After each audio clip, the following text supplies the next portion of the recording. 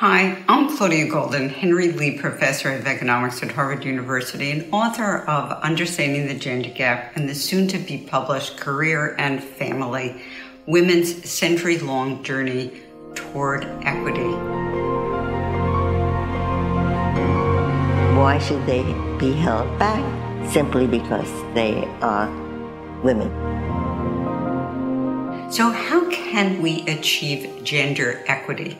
To have gender equity, we must achieve it in two spheres the family and the marketplace. These are two sides of the same coin couple equity and gender equality.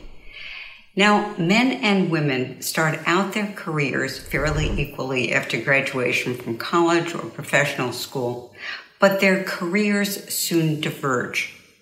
Women when they have children tend to spend more time in childcare.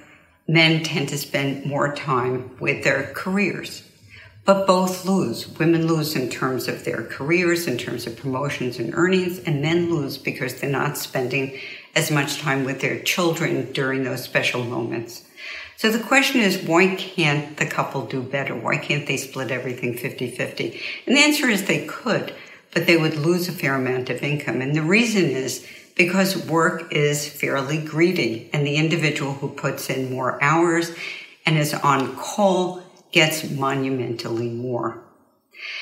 But what about other factors that are often mentioned, such as discrimination, negotiation skills, managerial bias? These are clearly important, and it's important to level the playing field all over.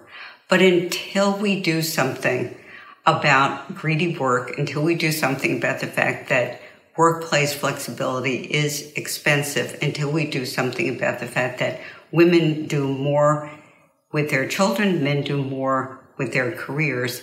We're not going to achieve the two sides of the coin, which is couple equity and gender equality. Thank you very much.